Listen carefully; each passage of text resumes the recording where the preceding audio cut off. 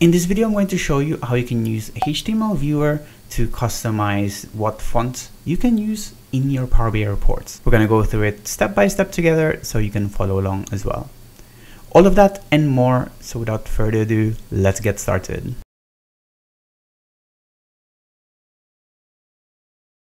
Hi, my name is Fernan and welcome to the Solutions Abroad YouTube channel where we cover tips, tricks, and best practices when working with Power BI. I upload new videos every week, so make sure you hit that subscribe button and the bell icon to get notified when a new one is out. So if you're a long-term subscriber of the channel, this video will probably be a bit of a deja vu to you because I created a video in the past covering how you can use custom fonts in your Power BI reports. However, in that video, I got a comment about the limitation of that solution, which is a fair comment to make, which is the fact that the font family that I'm using needs to be installed on the client computer for you to see the actual font on their side. So I was looking for a solution which doesn't require you to install the font in your different machines and I think I found one and we're gonna go through how to set it up today. So we're gonna use this report as our demo file for today. What I have here is essentially just an empty report with a measure table. So the measure table just contains two measures that is essentially just, it just has some random text in there. You have the title and the body here. Now, if I show it in a card, you will see, and we're just going to use this as our way to show what the fonts will look like, which at the moment is using the default font available to us. So right here. So the first thing that we're going to do is we're going to try to import the Google fonts which we can use in our Power BI reports. So you can do that by going into the developer API section of uh, Google. I'll leave a link to this in the description box below. And here is where we will try to get the fonts. So this is what you'll need and plus your API key. So the API key, you will need to generate it by creating and using uh, this button, get a key. So once you get that, you simply copy the code and then you paste it in here at the end, and that is pretty much your API key. I've already got my API key and I'm not gonna show it to you, but uh, essentially once you have that, you simply go to your Power BI reports, we go to get data, hit web, and then from the URL we'll simply paste the uh, the Google API URL along with the API key that you have just copied. This will give us this result, which uh, is at the moment is a bit of a jargon. So what I'm going to do is I'm going to rename this one uh, Google font. And we're just going to keep one thing here, which is the items family, which is the name of the font themselves. So I'm going to hit remove other columns. And then I name this one font family. Maybe change the data type to text as well and then we hit close and load. So that's the first bit done. So the next thing that we want to do is to create a measure to check what font family is selected. And I'm going to show you why we need to do this later. But for now, just follow my lead on this one. So first I'm going to say selected font. And I'm going to say selected value from the font family. So basically what it does if I just show it to you in a card nothing is selected if I add this as a filter for this visual if I choose a value here it will automatically give us what font is being selected pretty easy the next thing that we need to do is to create a numerical parameter which will allow us to change the font size of the fonts that we are using. So in this case, we're going to go to new numeric range. We're going to name this one font size. And we're going to have it as a whole number starting on 8. And let's say maximum is 100, increments of 1. Let's say the default is 8. And let's leave add slicer to this page uh, checked to create this slicer that we have. So essentially that allows us to create a slider that controls, hopefully controls the font size later, which will hook up to our font once we've set it up. We're gonna name this one as well selected font size just to make it easier for us to know which one we are using. So this one is is something that is generated by the uh, by the parameter and uh, we're just gonna reuse that and add it into our calculations measure table like this. Here we are. So the next thing that we need to do is to import a visual called HTML viewer, which is the way is what we will use to customize the elements within our values. So in this case, we want to customize the font family and font size of our text. And using the HTML content visual allows us to modify the contents of our uh, of our visuals using HTML code. And if you're not familiar with HTML content, I actually covered this, uh, but using a separate thing in a different video. So if you want to know about that, go check that video out. So from here, what we're going to do is change these visuals, the title and the body into HTML viewer content, which as you can see, it will just change the value to uh, an unformatted text.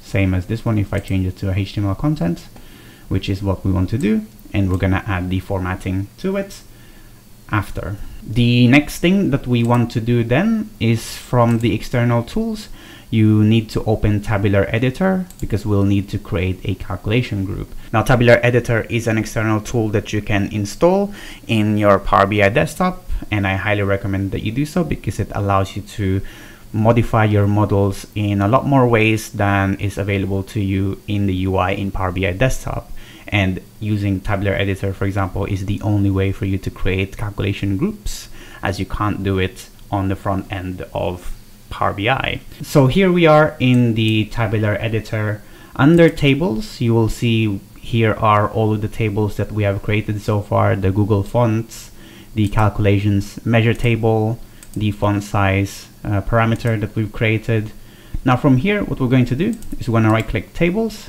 create new calculation group. We're going to name this one font selector. And we're going to rename create. You will see that it has a column here. By default, it has to have a column. So we're going to name this one just selector. It doesn't matter what you name it.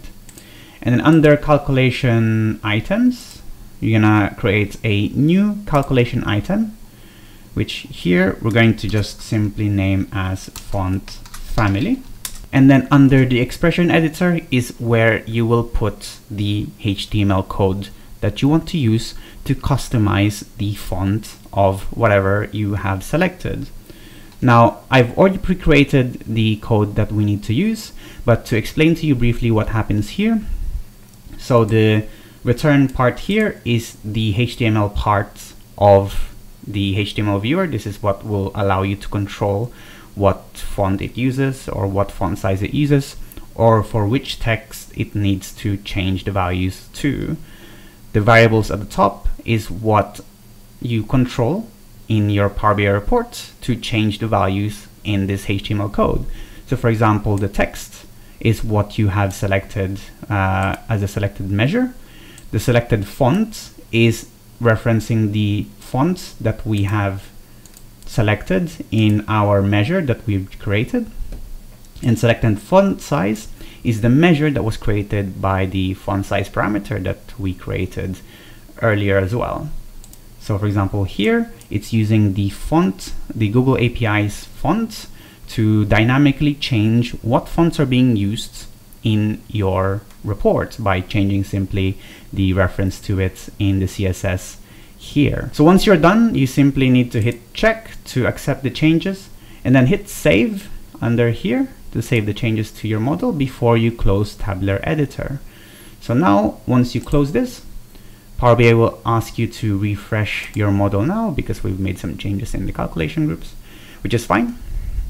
What you will notice now that it's done is it's created a new table here, font selector, which at the moment, I mean, it won't do anything yet. And to prepare for this, let's start to create some values here. So let's change this into a list. And let's change this to be able to change and select values single select. So we can just change one font size. And then what I want to do as well create a copy of that is change the font that is being used like this. So we can choose the font family and font size. And at the moment it's not really doing anything yet which is fine. So what we need to do is under the the visuals the HTML visuals themselves we need to use the calculation group. So the selector itself for example like this. We select the font family which as you can see has changed the value or the font family that that visual uses. So we'll do that one for this as well. So we'll use selector, filter on this visual font family. So as you can see, the font family has changed and as we change the selection here, so does the font type. If we change the font size, you will notice that because we created that calculation group, we're able to dynamically change those values in the calculation group, which affects the font in this page. If you wanted a different font size or font family for each of these visuals, instead of having a filter on the page level, you can create a filter on a visual level. So for example, we're going to use here font family and font size.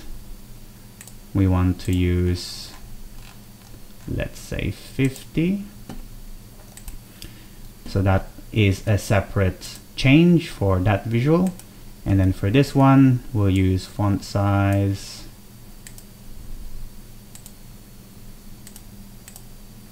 Let's say 15 and font family on this visual is something else. So this option allows you to dynamically change the font for each of your visuals independently from each other. So the only limitation with this one compared to the previous solution that I showed you before is that because it's using HTML visuals or because we are formatting it using HTML, it can only work in the context of a HTML visual, so a HTML viewer in this instance. So for example, if you want to change the font of your tables or your charts, for example, you will either have to use a different method or you'll have to create your tables or charts in a HTML context. So this solution is pretty genius and I want to thank Injay Park in LinkedIn for this solution. If it wasn't for him, I wouldn't be able to even figure out how this uh, works. So thank you very much. And that's really it for this video. I hope you now know how you can use HTML viewer to customize the fonts that you use in your Power BI reports. Thanks for watching. As usual, give this video a like if you found it useful. Give it a dislike if you didn't so to do better for next time. Ask your questions in the comment section box below so I can help you and you can help others. If you really like this video, we have a Patreon page where you can support the channel and get exclusive perks like early access, demo files, and credits at the end of these videos. Thanks again for watching and see you in the next one. Bye bye.